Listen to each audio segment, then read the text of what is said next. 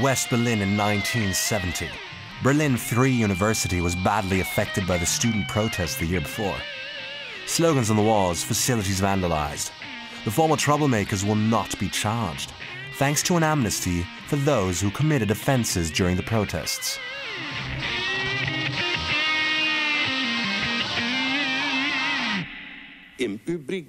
We want to offer a new start to everyone who was involved, including those who lost their way in the heat of the moment. However, not everyone wants a new start. Three left-wing lawyers, Horst Mahler, Hans-Christian Ströbele and Klaus Eschen. Their socialist lawyer collective defends students and activists, an exciting time for 30-year-old Klaus Eschen. In our office, everyone was paid the same. So the typists earned as much as lawyers. Or should I say, we earned as little as the typists. His colleague Horst Mahler is defending the department store arsonist Andreas Baader. Left-wing radical Baader has been serving time in West Berlin since April 1970. He receives a high-profile visitor. Journalist Ulrike Meinhof claims to be planning to write a book with Baader. Mahler arranges a meeting for them outside the prison to discuss the project. He and Ulrike are, in fact, preparing to free Baader.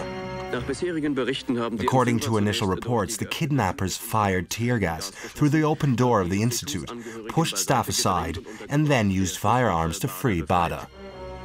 The RAF, Red Army Fraction, is born and Baader is free. Ulrike Meinhof goes underground with them. Even the lawyer Horst Mahler has changed sides. I was surprised and stunned and angry. I didn't understand it. Und äh, unbegreiflich. The group flies from East Berlin's Schönefeld airport to Beirut with fake passports. East German border officials spot the forged documents, but do not intervene, aiding the RAF's escape. A month later, the terrorists of a Red Army faction return to Germany. Transit buses coming from Schönefeld Airport cross over into the west through Berlin-Waltersdorf virtually unchecked. This enables Baader, Meinhof and company, who are now trained for guerrilla warfare, to slip back into the country unnoticed.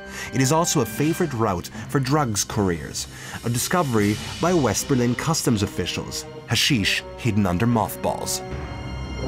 The 29th of September 1970, the RAF carry out a surprise attack, a triple coup. Armed and masked, they rob three banks in the city simultaneously. The Criminal Investigation Department found a paper shopping bag containing coats, jackets and masks made out of bobble hats. Former lawyer Horst Mahler is arrested. The other RAF members flee to West Germany. In 1970, the threat of terror becomes an international concern. After several plane hijackings in the Middle East, passengers at Tempelhof must undergo thorough checks. I think they should do more than they have up to now and thoroughly screen each passenger. The police know very well who's a suspect and who isn't.